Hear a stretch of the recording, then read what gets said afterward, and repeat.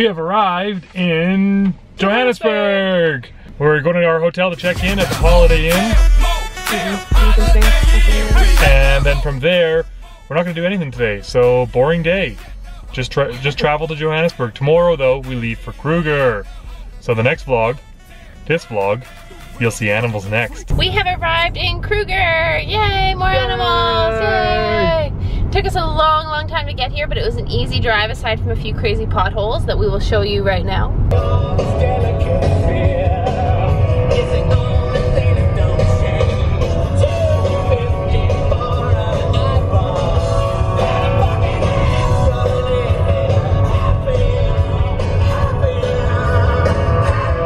And we're ready to find some animals.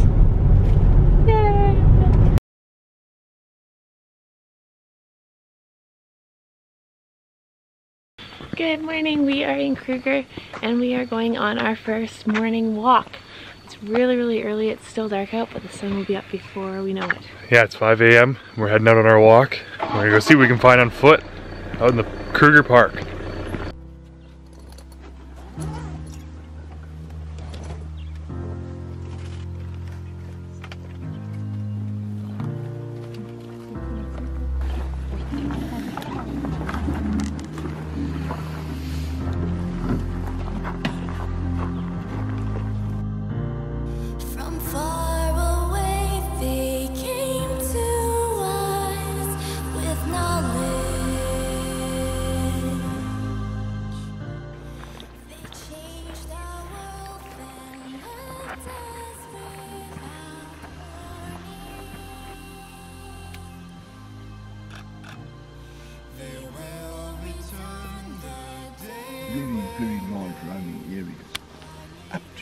In certain areas 150 square kilometers, which is huge.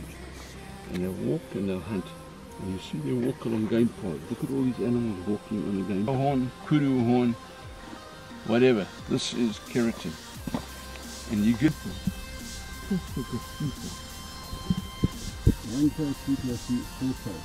One.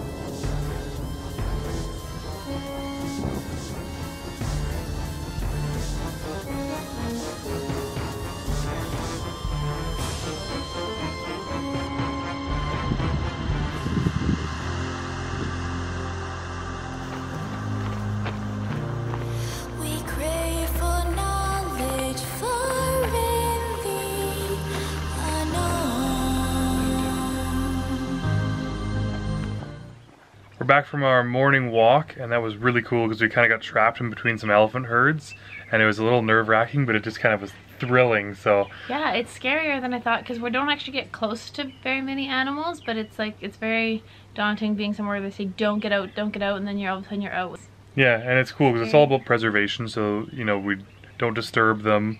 We're just there observing and they teach you about the land they teach you about the different animal prints and, and different things and it was so interesting and so unique and just a different experience being able to walk where the animals walk instead of being in a car where you're sort of in your protected little bubble. Well, we were with people that weren't following the instructions, so they're like, stay together, stay in a straight line, and then there's people just like wandering away, and it was good. It meant we weren't going to be the ones that got eaten, but I was nervous for them. Mm, yeah.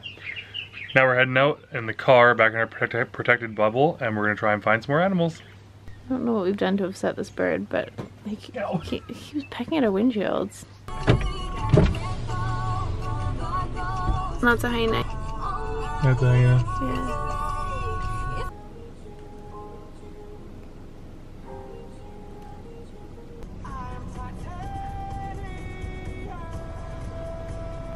Is it clear enough? Yeah.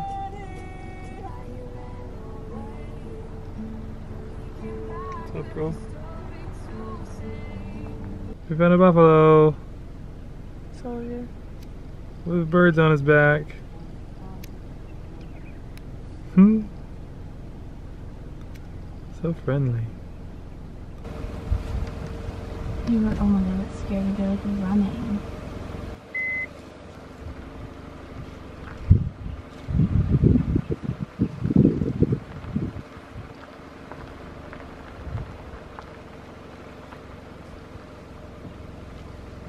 He is watching us. Just saw a huge group of elephants. Um, while Mark was filming out the window, a group of about six of them started running faster than I've ever seen elephants running in our direction, which is kind of scary given our Tosha encounter. But luckily they wanted nothing to do with us, but we waited, we were a little patient, and then we saw an elephant with tusks that were at least three foot long. Um, it was crazy. They're huge, huge, huge. So we were just running down the road and this guy came flying across the road in front of us can always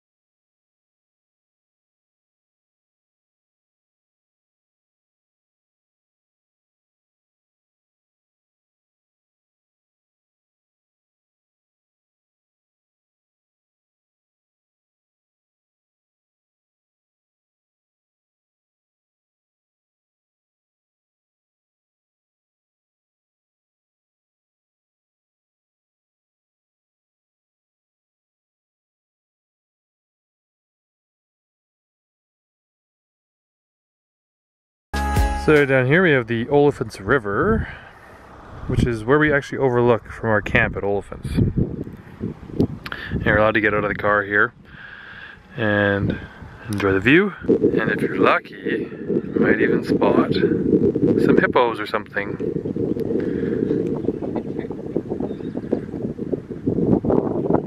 I don't know about hippo spotting, but I found myself a goat. Found a friend. There's an elephant. Yeah, this, yeah. Me too. Hopefully you don't see him come charging at the car during this footage. You guys will know before we do.